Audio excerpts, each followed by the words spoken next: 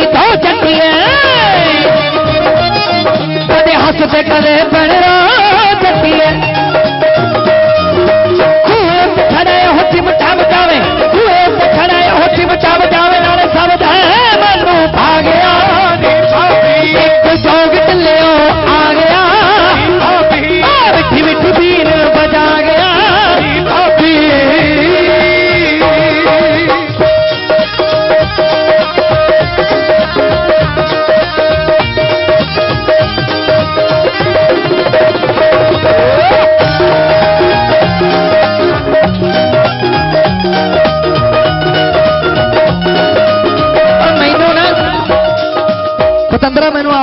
ਬਚਪਨ ਯਾਦ ਆ ਗਿਆ ਤੈਨੂੰ ਦੇਖ ਕੇ। ਤੇਰੇ ਵਰਗਾ ਹੀ ਸੀ ਮੈਂ ਵੀ।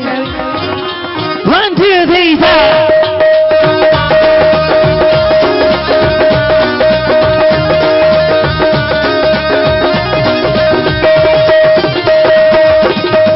ਮੈਂ ਇੱਕ ਗੱਲ ਕਹਿਣਾ ਹੁੰਦਾ ਬੱਚਾ ਪਾਕ ਸਾਫ਼ ਰੂਹ ਹੁੰਦਾ ਜਿਹੜਾ ਬੱਚਾ ਹੁੰਦਾ ਉਹਨੂੰ ਦੁਨੀਆਦਾਰੀ ਨਾਲ ਕੋਈ ਮਤਲਬ ਨਹੀਂ। ਉਹਨੇ ਆਪਣੇ ਮਾਪਿਓ ਤੋਂ ਚੀਜ਼ ਮੰਗ ਲੈਣੀ ਵੀ ਮੈਨੂੰ ਆ ਲਿਆ ਕੇ ਦੇ ਦਿਓ।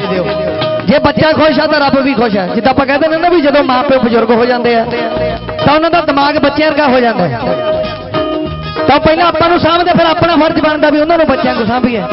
ਤਾਂ ਮਾਲਕ ਬੜਾ ਕੁਛ ਦੇ ਦਿੰਦਾ ਜਿਹੜੇ ਲੋਕ ਐਦਾਂ ਦੀ ਸੋਚ ਰੱਖਦੇ ਆ। ਆ ਜਾਓ।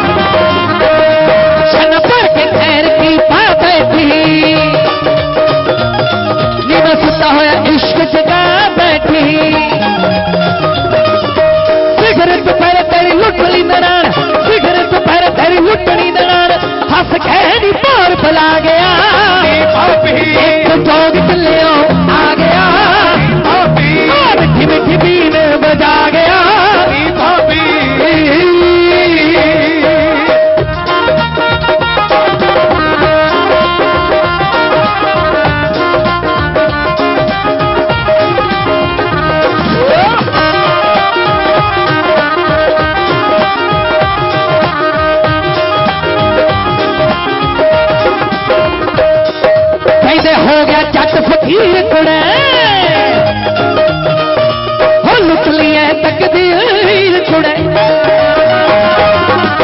हो गया चट फकीर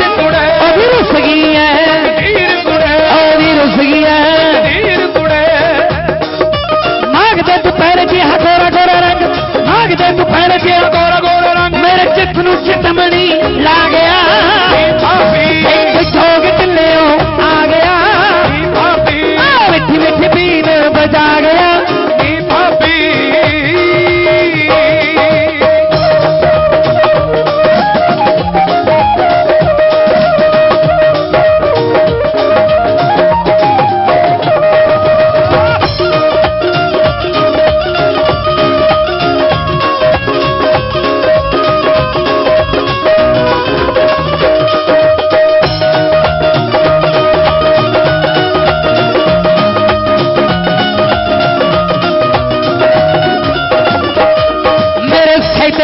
ਦੀ ਫੜੀਏ ਨੀ।